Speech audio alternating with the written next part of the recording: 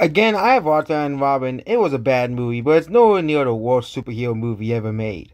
There are definitely far worse superhero movies than Batman Robin. Captain Marvel, Batman vs. Superman.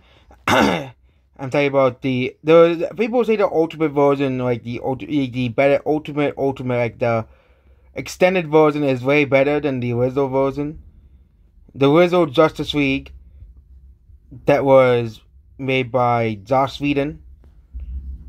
And of course, let's not forget, you know, one of the big, the some of the mask is worst.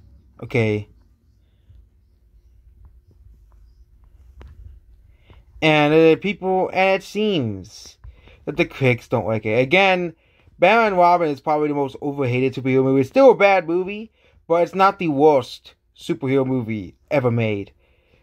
As well, okay, it's definitely way better than Captain Marvel. Because Batman Robin at least has some entertaining scenes in it compared to Captain Marvel. It's definitely it's on the same level as Birds of Prey. Okay, that's where Batman and Robin falls. It's on the same level with like Birds of Prey. Okay, Birds of Prey was had some entertaining scenes, but it was still bad movie overall. Okay, you know it was still a bad movie. Okay,